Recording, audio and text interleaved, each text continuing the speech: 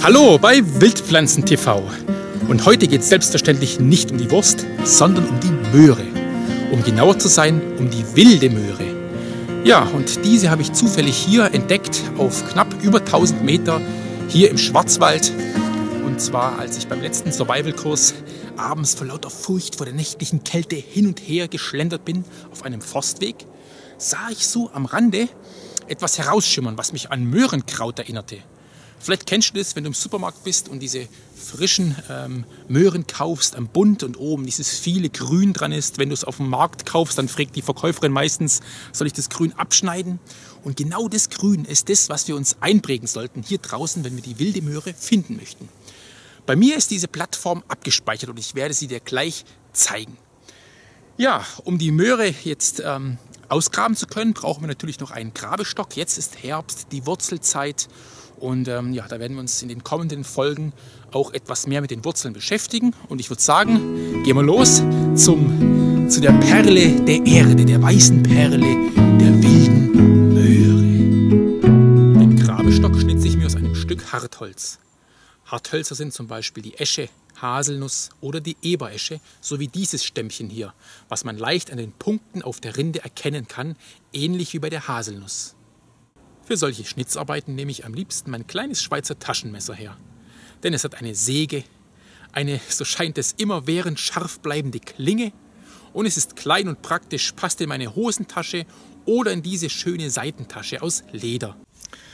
Ja, das Schnitzen sieht wie folgt aus. Ich habe also diesen ungefähr unterarmlangen Stock hier in einer Dicke, ich denke mal der Durchmesser dürfte hier ca. zweieinhalb bis drei Zentimeter sein und dann schnitze ich mir den unten an wie ein Spaten, denn diese Seite dringt in die Erde hinein und hebelt dann die Erdschollen beiseite und später hebelt es auch die Wurzel mit hinaus.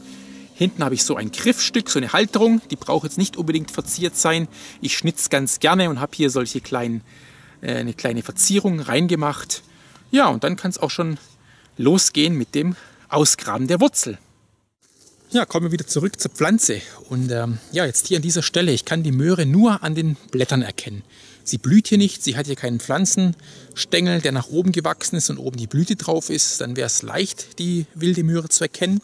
Nämlich die Blüte hat in der Mitte einen schwarzen Punkt, äh, wird auch Mohrenblüte genannt. Und äh, ja, man vermutet, dass dieser schwarze Punkt eine Fliege vortäuschen soll, weil die Fliegen gerne da landen, wo schon andere Fliegen sind und die helfen der Pflanze wieder beim Bestäuben. Und äh, ja, und das auch das Charakteristische ist, da könntest du auch darauf achten, diese Blüte der Möhre, die geht oben zu wie so ein Korb, wenn sie verblüht ist. Und wenn man so einen alten Bestand hat von verblühten wilden Möhren, dann kann man das sehr leicht erkennen, weil alle Blüten so nach oben hin wieder geschlossen sind. Sieht sehr interessant aus. Aber jetzt hier am Wegesrand hat es eben keine Blüten und es macht jetzt für mich keinen Sinn, mich mit den Blüten zu beschäftigen. Mein Hauptaugen, Hauptaugenmerk liegt auf den Blättern eben. Und ja, die sollte man sich ganz, ganz genau anschauen und auch gut einprägen. Wie gesagt, es gibt eben auch ähm, giftige Arten unter den Doldenblütern, Blütlern, gefleckter Schierling zum Beispiel. Ähm, ja, sollte man auf jeden Fall die Unterscheidungsmerkmale kennen. Jetzt bei dieser wilden Möhre, das sind also schöne gefiederte Blätter. Und hier dieser Stängel, der hat eine Rille hier. Unten ist der Stiel am Ansatz hier so leicht rötlich, hat eine leicht rötliche Färbung. Und wenn man die Blätter etwas zwischen den Fingern zerreibt, dann riecht es auch schon nach Möhre. Der gefleckte Schierling zum Beispiel, der stinkt nach, nach Katzen, ähm, nach Mäuseurin. So, ja, ich habe es selber noch nicht gerochen, aber ich kann es mir gut vorstellen. Er stinkt einfach. Da ist ein Stoff drin, der für diesen Gestank, für diesen Uringestank verantwortlich ist. Und das ist schon mal sehr gut. Man kann also am, auch am Geruch etwas unterscheiden. Und es riecht also sehr angenehm, die Pflanze hier. Und ja, das ist, also ich bin mir ganz sicher, dass es eine Möhre ist. Ja, und jetzt zeige ich dir, wie man die Wurzeln ausgräbt. Die Möhre liebt einen sandigen Boden. Sie ist sehr anspruchslos. So einen kalkhaltigen, sandigen Boden, so wie hier. Und der ist ja meist an Wegesrennen gegeben. Da kann man diese Pflanze finden. Ja, und zum Ausgraben, da mache ich mir einfach hier außenrum so einen kleinen Vorhof, sage ich mal. Kratze mir hier etwas die Erde frei. Und so lange, bis ich den Ansatz der Wurzel finde, weil hier sind ja die Blätter. Und ich möchte einfach mal die Wurzel spüren, den Anfang greifen der Wurzel. Dann kann ich auch etwas mit dem Finger die, die, Wachstumsrichtung der Wurzel spüren, weil manche Wurzeln, die wachsen nicht gerade runter die Erde. Es kann sein, da ist ein Stein und wächst die Wurzel plötzlich so. Und jetzt grabe ich in die Tiefe und grabe an der Wurzel vorbei. Dabei wächst sie etwas schräg oder seitlich. Also werde ich erstmal mich langsam an die Wurzel herantasten. Und da ist sie schon. Wunderschön. Alles duftet nach Erde und nach Möhre. Und das Ausgraben nach so, äh, so einer Wurzel hat auch schon fast was ähm, Philosophisches, was Schamanisches. Da habe ich auch einmal ein Video dazu gemacht, wo ich die wilde Pastinake ausgegraben habe. Und wie immer findest du den Link unten in der Infobox oder unten jetzt am Bildrand. Und da kannst du dann dir dieses Video einmal anschauen. Da spreche ich über die, wie der eine Schamane das macht. Der lässt seine Leute die Wurzeln ausgraben. Warum? Das erzähle ich ja dann im Video. So, jetzt arbeite ich mich hier langsam Stück für Stück an die Wurzel heran. Und kann jetzt auch schon mit dem Spaten mal versuchen, hier reinzustechen und zu hebeln. Ja, es ist ein sehr steiniger Boden, ich muss also vorsichtig arbeiten. Aber wir haben ja hier in der Natur zum Glück viel Zeit. So, dann klopfe ich die Erde etwas ab. Guckt mir mal das Ganze hier an. Schön verwachsen, super. Ja, ich werde mir jetzt mehrere Möhren ausgraben. Meine Frau und die Kinder wollen auch welche essen. Und das sind sehr, sehr gute Möhren. Ich werde es dir gleich zeigen. Ich werde da reinbeißen und du, ah, du wirst sehen, die sind knackig und gar nicht holzig, wie ich es sonst so kenne. Das sind ganz, ganz tolle Möhren. Und wie du siehst, sind Pfahlwurzler. Eine wunderschöne Ausbeute. So wenig Grün hier oben dran. Und das hier sind die, diese Möhren. Und ja, das sind für mich einfach kleine Kraftpakete aus der Natur. Diese Möhre, die enthält sehr, sehr viele Vitamine. Ja, man muss auch dazu sagen, alles, was aus der Natur kommt, was jetzt hier draußen wächst, das, das muss stärker sein. Das ist robuster, was hier draußen wächst, weil hier gibt es keine ähm, künstlichen Hilfsmittel, sage ich mal. Es, die Möhre ist hier nicht auf einem ähm, Beet gewachsen und wurde gehegt und gepflegt, sondern sie war auf sich alleine gestellt, von klein auf an. Das heißt, der Same musste schon was taugen von dieser Möhrenpflanze. Dann musste sie hier auf dem Boden erstmal kleine Wurzeln, erstmal keimen schon. Das war schon die erste Sache, wo diese äh, Moorrübe hinter sich hat. Allein schon das Keimen. Und als nächstes dann ja, das, das, den Weg finden in die Erde rein. Und das hat die Möhre alles hinter sich. Und ja, sie sie strotzt vor Kraft, so kann man das sagen. Diese Pflanze strotzt vor Kraft, weil sie auf sich selber gestellt war und ja, gesund ist. Wenn die Pflanze krank wäre, dann geht sie hier draußen sehr schnell zugrunde. Und hier hat es einen langen Winter auch im Schwarzwald. Also die hat schon ganz schön was hinter sich.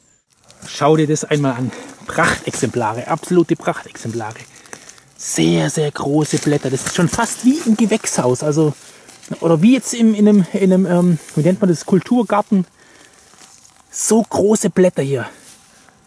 Wow, bin absolut begeistert. Ja, und jetzt habe ich hier einige Wurzeln ausgegraben. Und äh, ja, jetzt würde ich sagen, gehe ich zu einem Bach hin, wasche die Wurzeln mal, dann gucken wir uns nochmal die ganz genau an. Ich werde ein paar essen, probieren, die beschreiben, wie die schmeckt. Ja, also, Wurzeln waschen, würde ich sagen.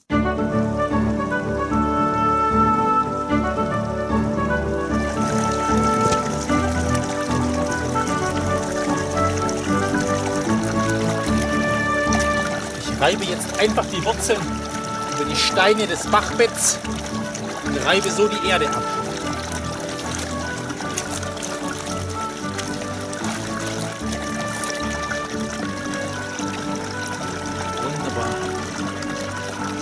Steinpilz.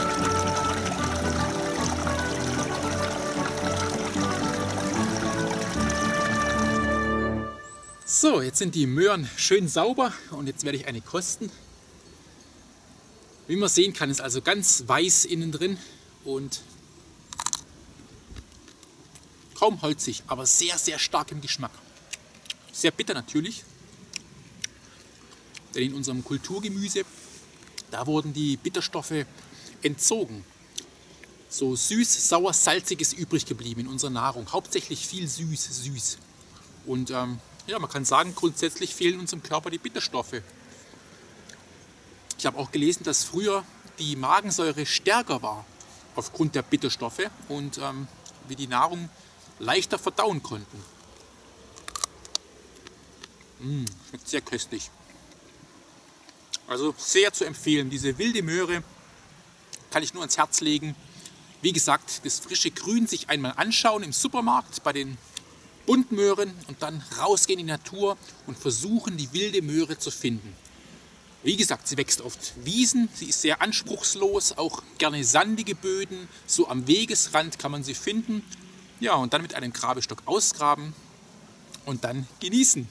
In dem Sinne wünsche ich viel Freude in der Natur, viel Spaß mit den Wildpflanzen. Wir sehen uns im nächsten Video wieder. Bis dahin, tschüssli.